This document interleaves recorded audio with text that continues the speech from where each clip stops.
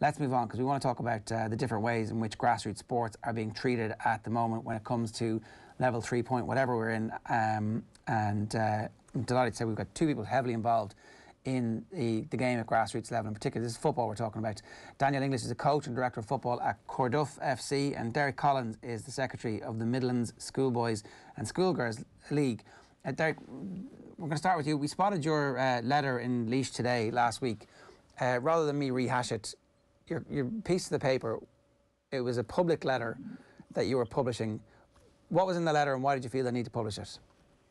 Well, basically, it's due to our stakeholders, which would be all parents, uh, coaches, managers, secretary, etc., being very frustrated that since um, in the background of this, our league started in September. At the end of September, we had to stop due to being moved into level five, which was grand, and we understand the health problems there. But with the new restrictions moving to level three or 2.5, uh, we have now roughly got nine, ten weeks of constant training, which in clubs it's very hard to keep young kids doing the same thing. They most of them would uh, train twice a week. So after a couple of weeks, numbers started to drop off. Clubs got concerned. Um, so basically, it was secretaries ringing myself saying, "Do you know what's happening? When will we get back playing? If this we come to level three or level two, will we get playing back to matches?" Then with the bombshell of the level three and no matches still, but you can still train. It, numbers are just completely dropping off. You need games, essentially. That's what you want. Yeah, well, it's it started off at level five when we had this famous word elite uh, players could play. And to give you an example, if you have a twin boy, say under 14s, one could be an elite player. The word elite is not a word I like using because it should be an emerging player. But however, the FAI or the sports bodies or the government decided to bring in this word. One player could go out and play while the other looks out the window at his brother going out to play. There should be no difference. If the players can play, they can play. If they can play, they can play. It's the grey area of not knowing what you can do. Like football or soccer, as I have to kind of say it down in the Midlands, because there's another sport called football. We tend to, it's a team game. It's not like you can just go out and do personal training. Everything is is is set up for the team sport, and it's very frustrating that way on it. Daniel English, you've um, again written a letter. This is to all your local representatives in Dublin 15. Is that right? Yeah, I am um, basically seen Derek's letter last week, and um, I felt that all the clubs had to do something about it. I think until we start making noise about it and actually writing to these politicians and getting onto them, that I don't think anything will be done. Um, I wrote all letters to them now today. We're putting in our court of social media because I just think it's gone on way too long now. We keep saying we have a plan to live with COVID and we're learning to live with it, but we're not. Every time the going gets tougher, the cases go up. It's just shut down shop. Like we have kids that haven't played really in nine months. They've played two games. They're coming training. The the coaches they've nothing to react to um, games wise. They've nothing to proactively look forward to games wise, and they're just training for the sake of it. Then even with like senior football, our seniors in Corduff were locked down for six weeks, and I just don't really get the whole thought, thought process, letting kids play and then not letting seniors play. And like this, I think if the schools are back open, the kids should be playing football. Like I've before I'd done them letters, I'd done my research. I spoke to principals in schools. I spoke to teachers, um, and I asked them. I said, "What's the process in PE?" And they do stay in their pods, but they play indoor games. They play outdoor. They play football, GAA, whatever they're playing, and then they meet up in these after-school clubs, and the pods are mixed. So it really doesn't make sense how the government are letting the schools go ahead and continue as a normal MPE, but then football is getting punished. Um, like we've like kids between the under age of eight and thirteen. That's their massive development cycle, and we've kids that haven't completed a season in pro- properly in two years with the change of calendar football and the change back, and then obviously with COVID. Um, so I think I think the TDs start need to stand up and start earning their votes and be counted for. I know I've seen a couple of them in the Dáil, maybe one or two, bring up points about getting us back, but are they really doing anything? Like, are they really going around to the local clubs and seeing what we need to get back? Because all I've seen is in Corduff, especially, we've invested loads in the signage, um, appointed COVID officers, and took it really seriously. And yet, then we're not trusted to have games or let the kids actually go out and play games on the weekend. So it just really doesn't make sense. And then, like, I was in a shopping centre on Sunday with my partner, and the shopping centre is packed. There's hundreds of people walking around. There's loads of kids hanging around together. You walk by public parks, they're playing football together, and they all keep saying if it's outdoors, that you're not as high risk of getting the virus. Like, so I don't really understand why we're actually not allowed to play football.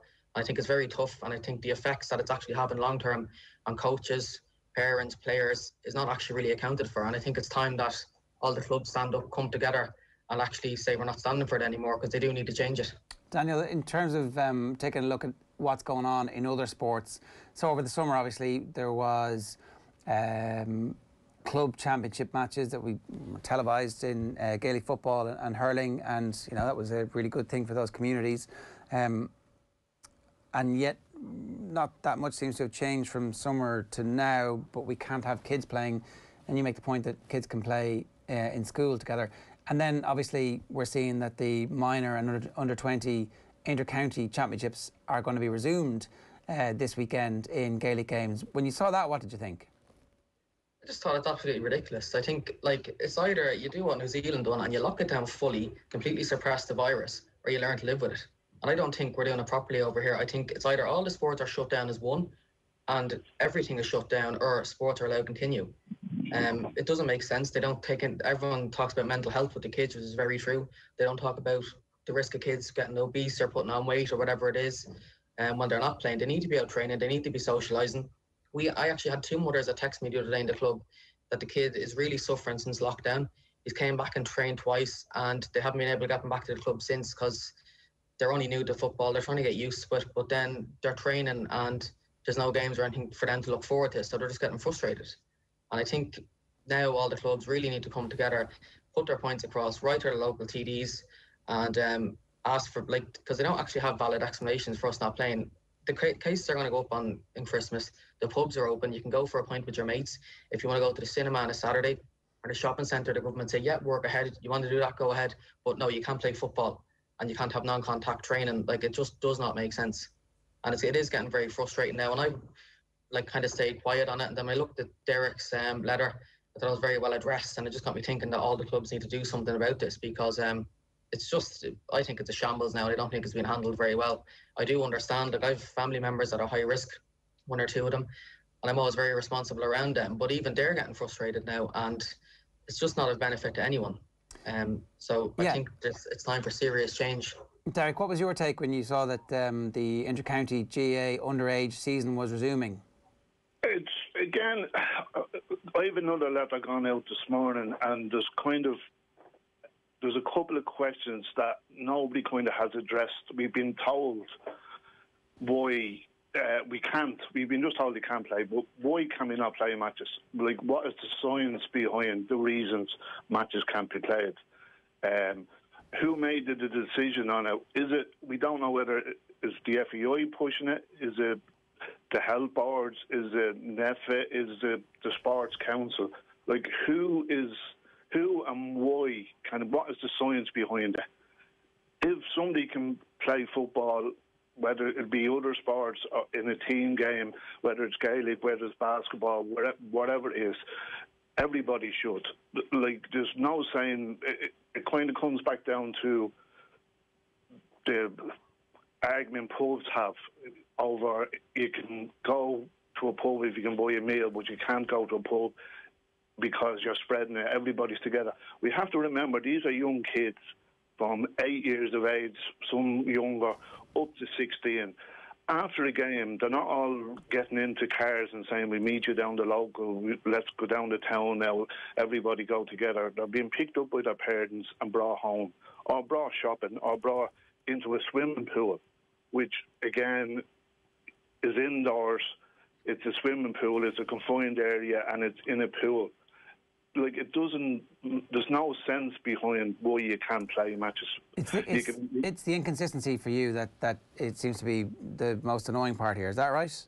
Yeah, like if it's a health risk, it's a health risk. We don't want to put any kids in any way. like we, the majority of kids, everybody, you have to protect every kid, every boy and every girl. So if it's a health reason, it's a health reason for kids as well as adults, no matter what sport you're playing. It, it makes no sense behind it at all. I just done a bit of research last night and uh, we came across a study online that was done in San Diego, and they've done a complete paper on it. And there was six and a half thousand players, 263 coaches from six different soccer clubs, and they've done everything on it. And basically, the outcome of this study is that there is no uh, playing kid, soccer for kids or football for kids in an outdoor environment in the proper manner, there's no risk to transmit a COVID, or it's a very minimal risk. Like when kids go in school, they're sitting in a classroom with their coats on, where all the windows open. So running around outdoors, it's just just doesn't make sense whatsoever. Derek, um, you represent a league. You've got five different counties there at the moment, so you can give us a pretty um, broad stroke on this. In terms of the potential damage that can be done to clubs currently, and you know, the potential for kids having an absolute lack of interest and maybe dropping out of football if there's no league resumed soon. Oh, 100%. Uh, 100%. Because it, like it's like everything. It's like you probably more adults. Like if you're out playing for a football match and you're, you're training, you're going up twice a week because you want your place on a Saturday or a Sunday, whatever day you play football. If you know for one week you've no match or idle, you're kind of going to get a little twinge in your knee, say on a Thursday, I won't phone up, I just say I'm injured, and I'll be back again the following Tuesday, and I'll be all right for the following match the next week. Kids, it's grand. Started off as grand, they were back training. It was a new thing for us because everything was closed down. But after nine weeks, the numbers of in, in clubs, in people, they're driving kids back to their Xboxes or the PlayStations because we being a kind of winter league, it's not that you're going out training, it could be raining, you've no use of dressing rooms. Kids are getting wet, they're getting back into mommy and daddy's car, they're catching colds. You catch a cold and parents think, oh, I better get you tested just in case you caught something. Like, it just doesn't, the whole thing it doesn't make sense. And numbers are dwindling from clubs. They're, they're just, they're still members of a club, but they're not turning up, they're not participating in it. Um, health wise, it will be down the road uh, a big eye opener for parents because you'll you won't get Johnny or Mary out of the house because they're now talking to their kids. The fellas that they only meet for an hour and a half on a football pitch, they're now talking to them through their headsets, through their games, etc. It, it'll really do significant damage to sports uh, and to young adults playing the game. Daniel, are you seeing a similar experience with the children in Corduff? Yeah, hundred percent. I, I think as well. Like I, I was talking to my uncle who's involved in Kerry in a club. He's a secretary down there, and they're looking to know now as well is because they they're a county which is heavily supported with GAA and a lot of the kids play GAA. As soon as it comes back to January, February, and the GAA season kicks off, they're not. They're worried that they'll actually be not even able to finish their league. They're trying to get it done by January, February, March if we're able to go back. And I don't really think the government have thought it through. Um, I suppose we're lucky enough in Corduff, we're not as as affected with other sports. Generally, the majority of them will play and the football, or um, you might have someone that plays GAA as well. But down where Derek is in Laois or Kerry, it's a lot more difficult for them because they're under pressure with the GAA training and the players, and it's a lot for the parents to have to do to bring them to both training. So I think they really need to start thinking about that. Um, and I'm just kind of wondering now, as a club, we've put all our precautions in place, got our COVID officer. Um, like if we didn't do that, there would have been serious consequences on the mental and physical aspect for the kids. And I know from dealing with the HSE from when we we had a kid that got COVID, not in the club, actually outside the club, and um, he trained basically a week before. He were lucky enough he wasn't actually there, but I'd rang and obviously went through all the precautions. And I was actually told or asked by them, who do I think is a close contact to the kid? Now I'd be presuming all his team will be, but I never got asked for contact tracing lists. I never got asked for anything. They just said, oh, if anything pops up, let us know. And I just think if we don't have that side of a fix, if we're not following these cases up properly, we're going to be in this for a long time. And I think it's about time that they either start and they start making a proper plan to actually live with COVID, or they may just shut up shop because as it stands, we're not. It's two stop start. The kids' um, development is going to be seriously affected. Coaches will end up quitting, which we've seen in some clubs. They've just thrown in the towel, and it's because they're fed up.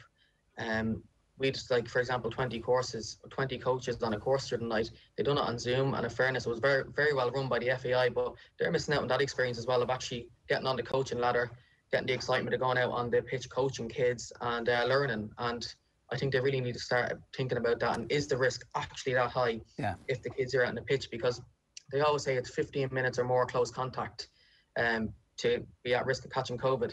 Like, when do you ever watch a training session or a football match when a player is standing beside someone for 15 minutes? It doesn't happen. Yeah, look, the, all the research from the very early uh, days, even World Rugby found that um, multiple scrums would be mostly okay, and we haven't seen that many cases of transmission from on-field stuff. And it goes back to the question that was raised. Uh, one of my mates got in, in touch and said, "This is really frustrating because the kids are in school all day, and they're sitting beside each other, and then they can't go out and play a match, even though they can train."